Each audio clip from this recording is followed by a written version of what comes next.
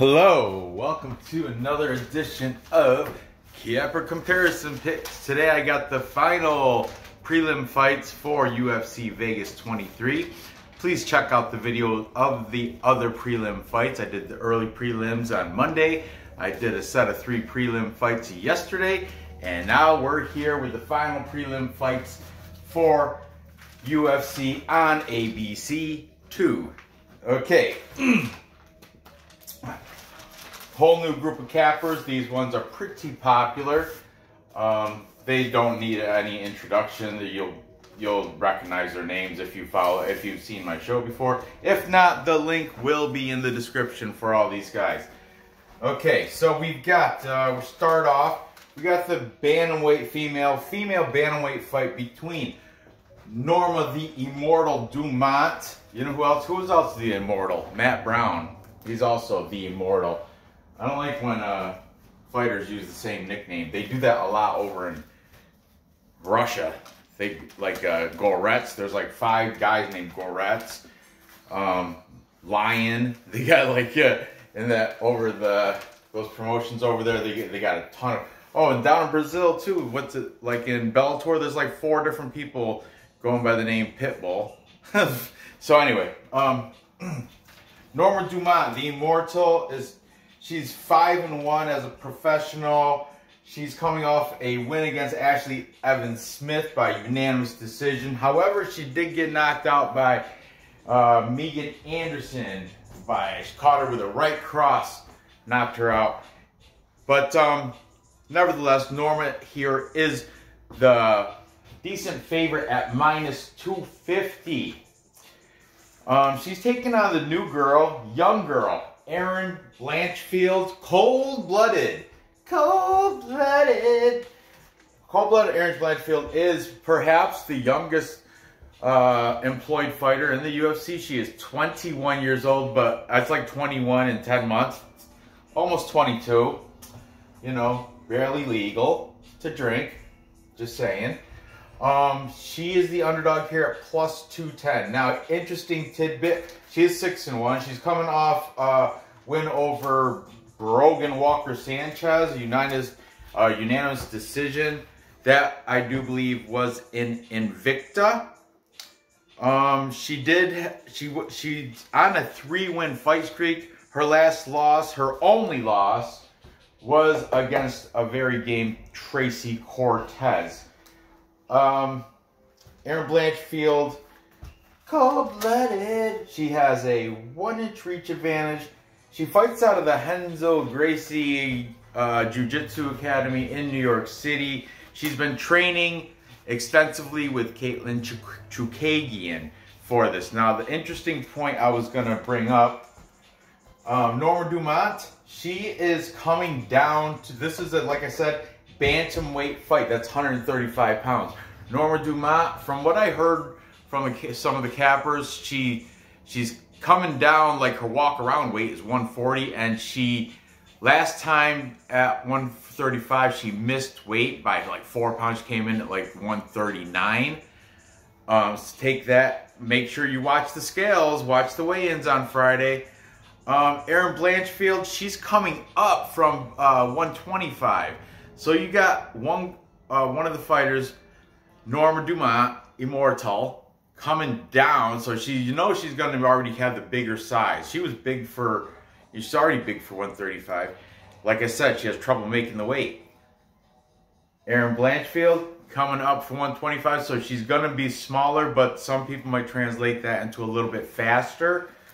And Renzo Gracie, she is a purple belt at Renzo Gracie Academy, but Renzo Gracie Academy is a top-notch Brazilian Jiu-Jitsu school. So here we go. Uh, the favorite, taking the favorite, fighting out of the Gordon fight team.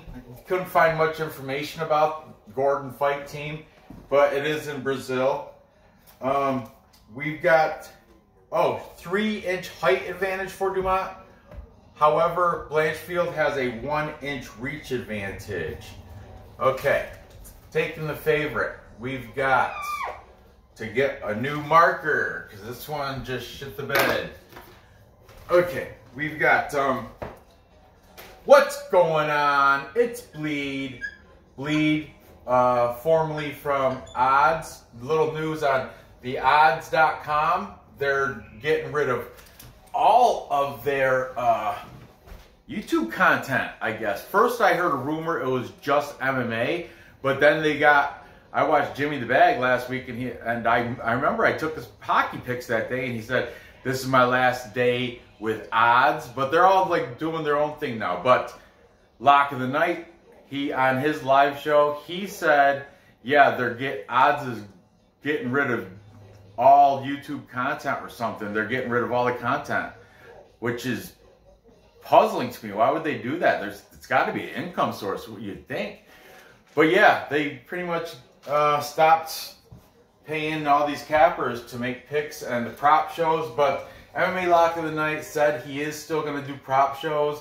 He's going to do a live watch along with the weigh-ins and the chat. And, you know, there's a lull time in between weigh-ins when people, the fighters are getting dressed and get undressed. And, you know, there's time in between. And that's the time he's going to be busy with the chat. So, anyway, speaking of Lock of the Night, he's also taking Norma Dumont. L-O-T-N.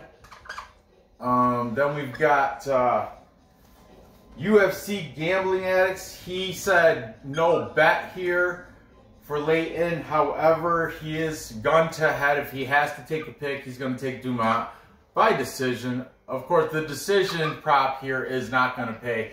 Look, minus 280 to go over two and a half rounds. So the, the bookies, everybody's got this female fight. They got it going to decision.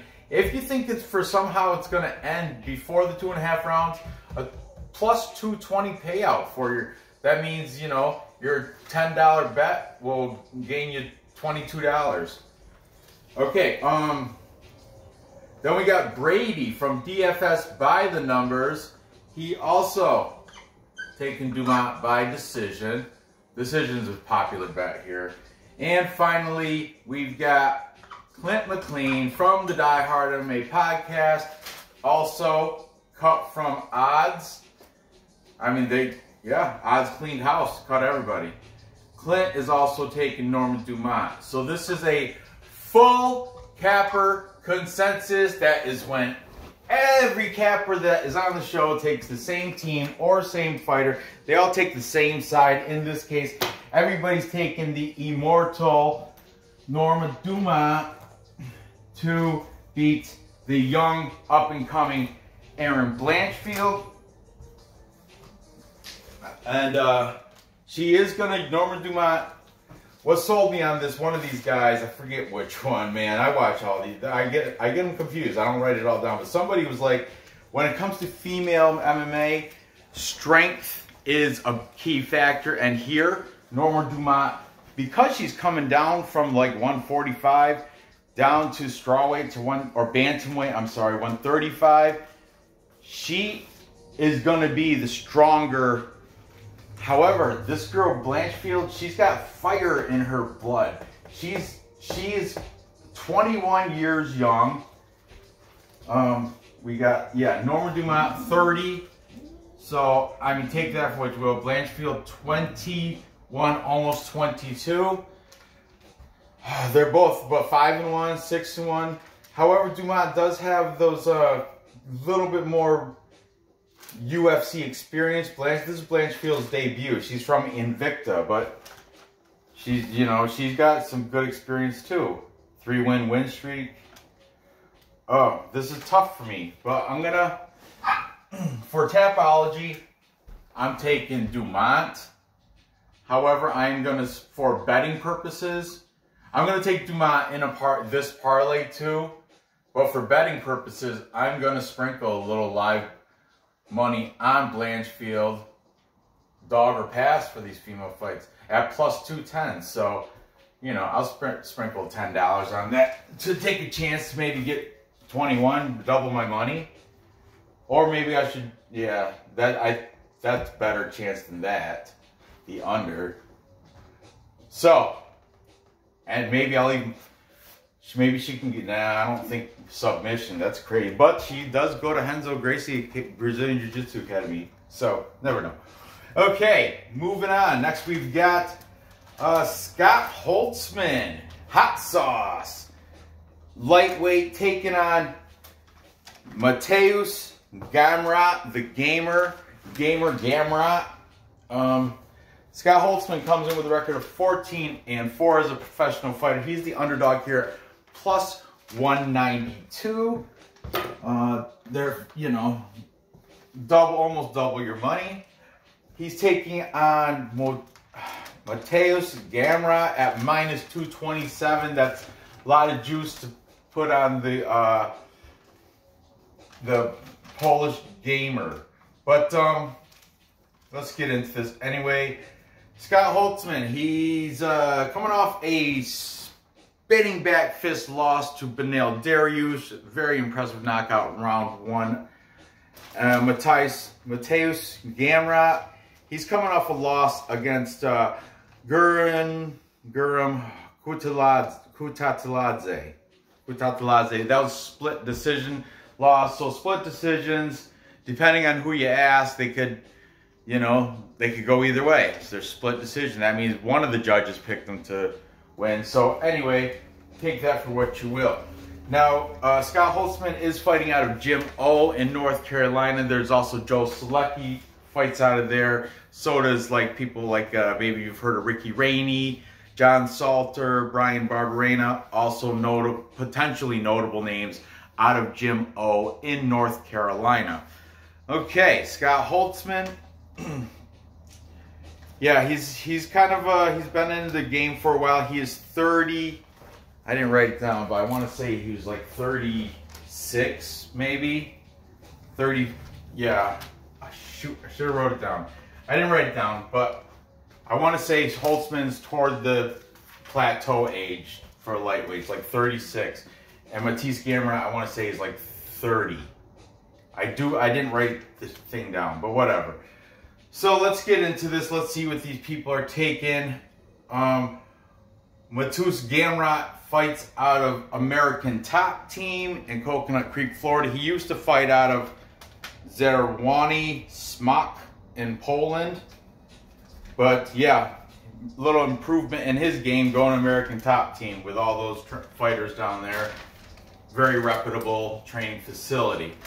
So, taking the favorite in Mateusz Gamrot, we've got Clint taking him by decision for the gamer. Then we've got DFS by the numbers. That's Brady, also taken by decision. Um, Leighton, UGA, UFC Gambling Addicts, taking them by decision. You see where this is going. See it trending. MMA Lock of the Night, also taking Gamrot. And finally, what's going on? Bleed and it sucks that odds is, you know, I'm going to miss that. But uh, lock of the night, he says he's still going to bring this stuff together. Like he's having a, he's still going to do the parlay prop thing or the prop bet show type of deal. He's still going to have special guests. He's going to have a breakdown with uh, Clint, prediction guru, and bleed. And he said Cody Staffick, he's still in the mix too. He's going to start alternating guests. He's got Newsom from MMA Play 365 coming on the show. He's got other, he's, yeah, he's still, he's still, MMA Lock and Night is still going to give you content for your viewing pleasure. Um, but I'm going, uh, the link in the descriptions will be from where I got this information. So you can click that and, you know, verify every, all my all the picks that I put for these guys. As for their separating from odds and making doing their own thing, you're gonna have to, you know, subscribe to their personal channels, and those links will not be in the description until next week when they, you know, start doing their own thing. I don't know how long. This may be the last. I know it's the last. Jimmy the Bag, he's done at odds. Clint, he's done at odds. I'm sure. Yeah, I think they're all done. I don't even know what kind of content odds still has up, so we'll see. Anyway, this is a full capper consensus everybody is taking uh, Mateusz Gamrot, the gamer, to beat Scott Holtzman, hot sauce. I, I guess I'm gonna have to go with the. Yeah, he's Gamrot's only got that one loss, and like I said, that was a split decision loss. So that being said, it could have went other way. Holtzman, I think he's getting up there in age. I wish I wrote it down, but I didn't. Anyway, I'm taking, I'm going with the Cappers. I'm going to take him to win. I might as well go with the trend. Everybody's saying by decision. Hopefully that makes it a plus number. If not, I'm not going to bet it. I don't bet negative numbers. I parlay them. if it's a negative number, it's going to a parlay. I'm going to make it a plus somehow. So, or it's just not bettable.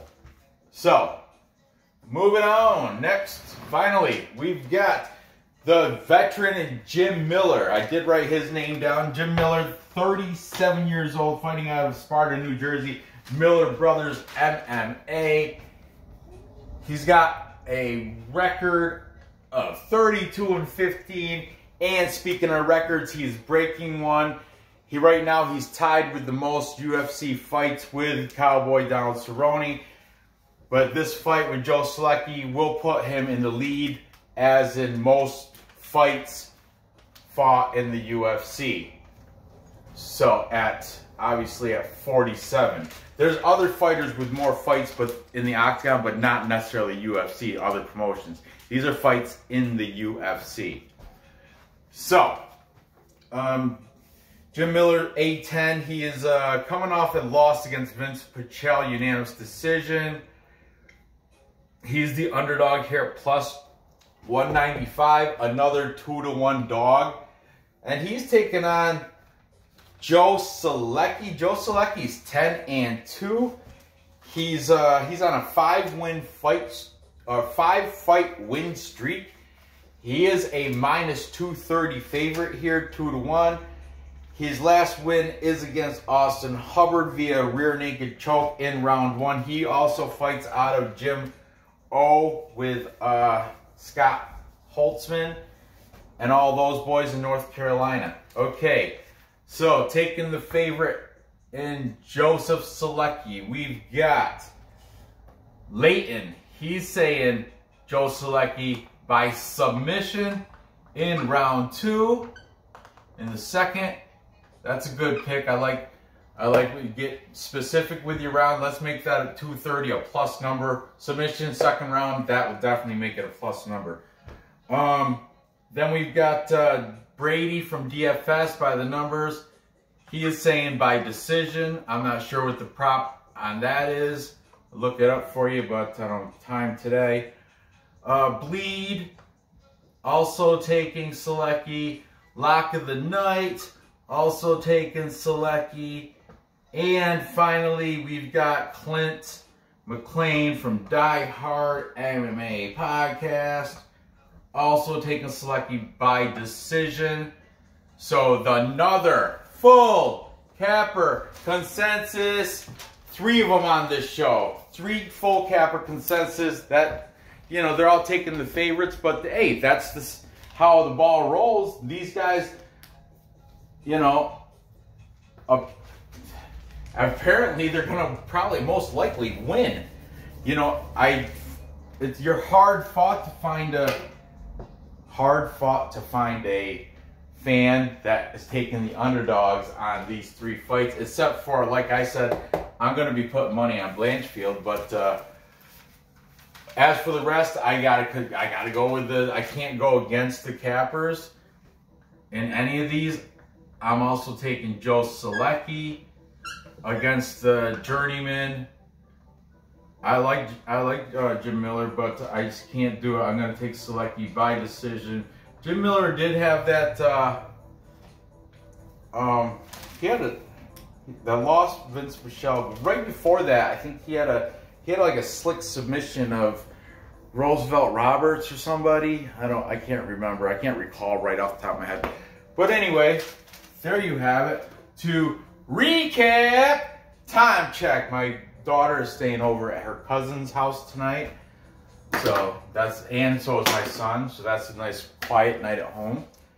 Um, but anyway, to recap, I have uh, Norma Dumont, even though I am betting Blanchfield, but for my Tapology pick so I can beat BC Dave and MMA Genie, I'm picking uh, I'm picking Norma Dumont. She should win that by decision. I don't know why I didn't write that down, but however, I will live bet sprinkle $10 on Blanchfield just to, you know, for fun. But Dumont by decision.